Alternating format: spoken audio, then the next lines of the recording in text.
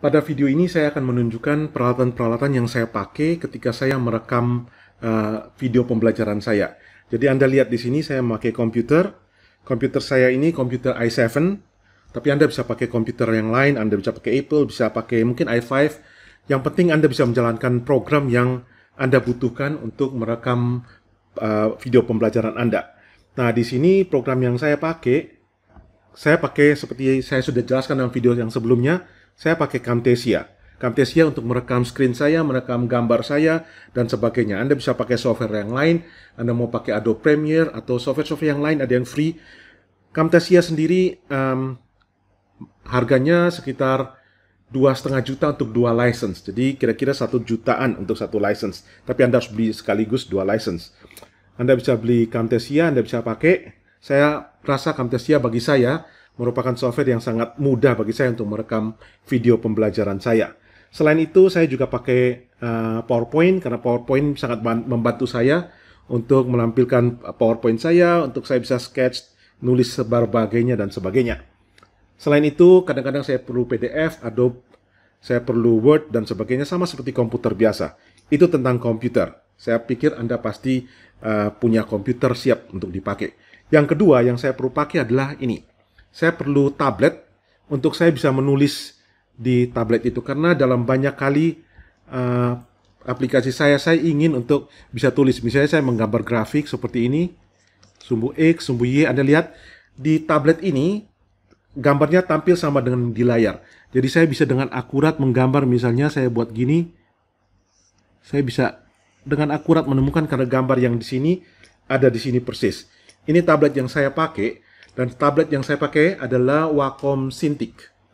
Jadi Wacom Cintiq sebenarnya Anda bisa pakai tablet apa saja, sekali lagi pakai merek apa saja, tapi saya pakai Wacom Cintiq ini.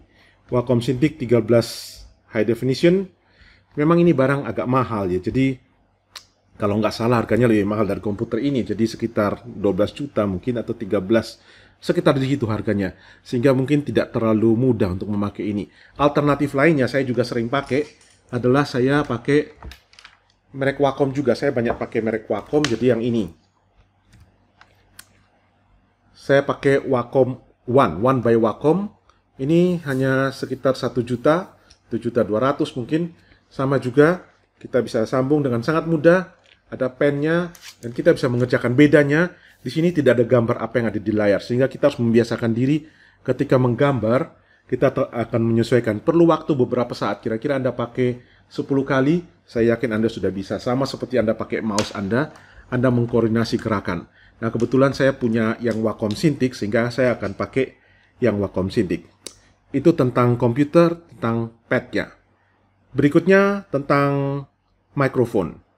Oke, Anda mengatakan bahwa pasti, hampir pasti laptop Anda ada mikrofon di sini, atau di mana, kita bisa pakai itu. Bisa, bisa pakai, tapi saya kurang merekomendasikan karena um, selain suaranya juga kurang baik, kadang-kadang kita bergerak dan sebagainya sehingga hasil rekaman kita akan kurang baik. Saya merekomendasikan Anda menggunakan eksternal uh, microphone. Jadi Anda yang saya gunakan di sini, saya gunakan eksternal microphone ini, jadi saya pakai Boya. Ya sekali lagi saya nggak tidak promosi merek di sini, cuma ini yang saya pakai, gitu ya. Boya MM1 cukup baik untuk bisa meredam beberapa noise juga.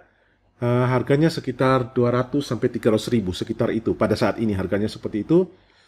Anda bisa pakai Boya. Alternatif lainnya yang kadang-kadang saya pakai juga saya pakai ya sekali lagi merek Boya bukan promosi. Ini memang saya sering pakai. Ini yang clip on. Jadi yang pakai di sini clip on lebih mudah bergerak. Kualitasnya sangat baik. Anda bisa sambung. Ini harganya sekitar 100 sampai 150 ribu. Sekitar itu saja sehingga saya rasa affordable untuk di beli. Itu tentang mikrofon. Tentunya kita perlu kamera. Kamera untuk merekam uh, gambar kita seperti saya hari ini. Saya menggunakan kamera ini. Nah, susah. Saya tidak bisa tunjukkan karena lagi di situ. Jadi kamera yang saya pakai ini. Logitech C992 ini apa webcam untuk conference cam. Oh, Anda tanya tentunya. Kan ada kamera di laptop. Bisakah kita pakai kamera laptop? Bisa. Anda bisa saja pakai kamera di laptop, tapi uh, kamera laptop dalam pengalaman saya kurang pencahayaannya kurang sehingga sering sekali gambarnya gelap karena gambarnya gelap gerakannya jadi lagging. Sehingga kalau bisa affordable, kita beli yang kamera eksternal. Ini memang agak sedikit mahal, mungkin 2 juta, 2 juta plus. Saya, saya lupa harganya sekitar segitu. Tapi saya jarang pakai yang ini, kecuali saya pakai yang eksternal. Karena Anda lihat di video saya, kebanyakan wajah saya tidak tampak. Wajah saya cuma tampak di awal dan di akhir. Sehingga saya merekam itu secara terpisah. Saya pakai apa?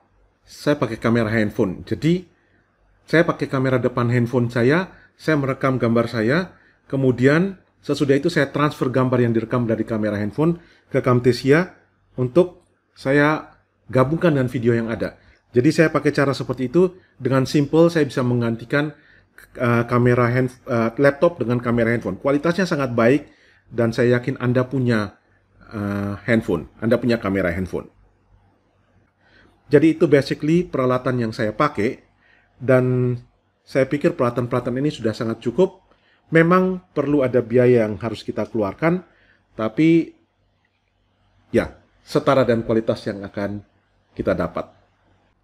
Ada satu hal yang tadi saya lupa katakan adalah kalau Anda punya laptop yang Anda sudah uh, beli yang touchscreen, jadi Anda bisa langsung tulis di layar, maka Anda tidak perlu lagi uh, tablet-tablet, uh, Anda tidak perlu pad lagi seperti ini atau Cintiq, Anda bisa langsung menggunakan uh, laptop Anda yang sudah bisa langsung ditulis di layar.